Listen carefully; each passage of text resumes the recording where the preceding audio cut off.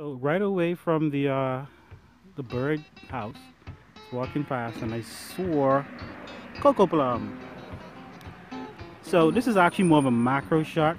Some phones actually have a macro mode. Macro meaning to uh, you know taking something small and making it look big. Um, my phone doesn't have that mode, but what I do, the closer I get, you see it gets blurry.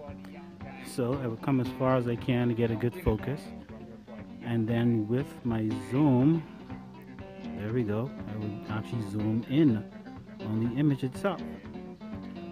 And it simulates a macro shot. Get your focus right. Take your shot. So what I'm doing here because the cocoplum is darker than the leaves itself the color is totally different and uh, I'll show you something else in one second. Let me just get this shot. One more. What's happening here is because you see that there's a lot of clouds in the sky the sun is not out.